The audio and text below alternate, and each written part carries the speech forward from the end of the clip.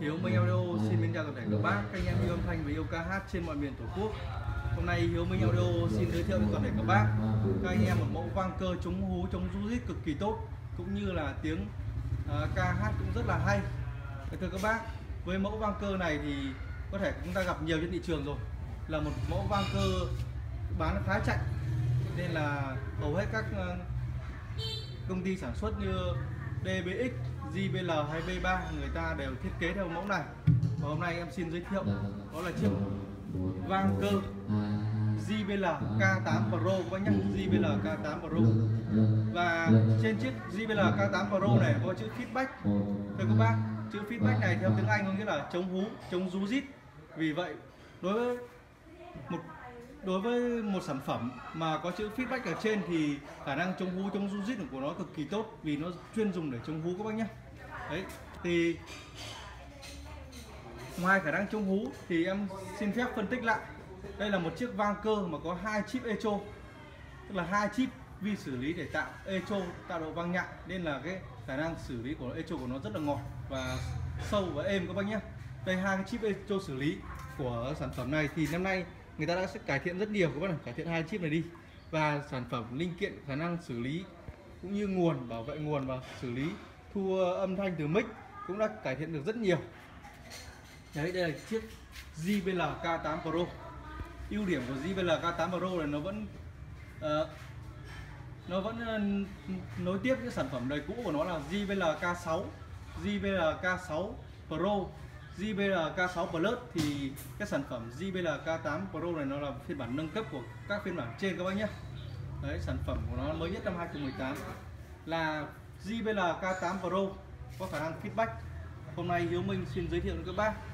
Và giá cả của Hiếu Minh đưa ra cũng rất là mềm và hữu nghị thôi. Các bác nào có nhu cầu thì liên hệ Hiếu Minh. 0919 182233 các bác nhé. Đây thì em xin giới thiệu qua.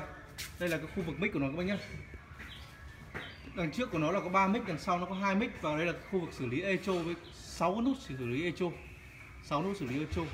Và 3 nút xử lý, khu vực xử lý mic có 3 có 3 nút các nhé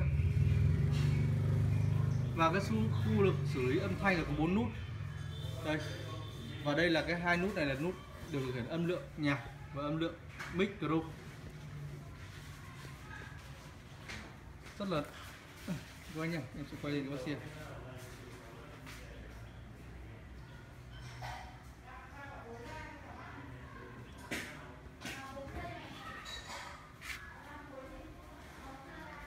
đây em sẽ giới thiệu sản phẩm đằng sau các bác nhé. Cái cái cái sản phẩm này thì nó có sẽ có một đường cắt súp riêng và trong cái đường cắt súp này nó có tần, chia này cái phần cắt tần số súp này các này và ừ, cường độ súp và nó sẽ có hai cổng để lấy âm lượng ra. Hai cổng để lấy à, lấy tín hiệu ờ, âm thanh ra. Và đây một cổng thứ ba là cổng center tức là cổng dùng dùng cho loa loa trung tâm các bác nhé đấy đây là cái nút trung công tác trung hữu của nó. Và đây là hai cái đường nút đằng sau là nút lấy điều khiển music tổng và mic tổng với micro tổng đấy. Đây là hai đường 4 năm của micro. Về cấu tạo này thì nó nó cấu tạo tương tự như các sản phẩm trước đây nhưng mà khả năng xử lý âm thanh của nó tốt hơn rất là nhiều các nhé. Tất cả các sản phẩm đều có tem QC tem kiểm định chất lượng trước khi xuất xưởng các bác nhé. Giá rất là mềm và hữu nghị thôi các bạn. Đây em xin quay một lần nữa. Nội thất nội thất của nó. Nội thất của nó thì như tất cả các sản phẩm khác thôi. Đây là vỉ chống hú các bác nhé. Vỉ chống hú này chống hú cực kỳ tốt luôn. À, nó đi rất nhiều sản phẩm của các hãng như các hãng Vanker cơ B3 vang cơ debic và hôm nay nó xuất hiện trong sản phẩm là JBL K8 Pro các bạn. Và trước đây ờ, sản phẩm một sản phẩm em có bán là JBL K6 Plus nó cũng đã từng xuất hiện. Đấy. Thì hôm nay em xin giới thiệu sản phẩm này.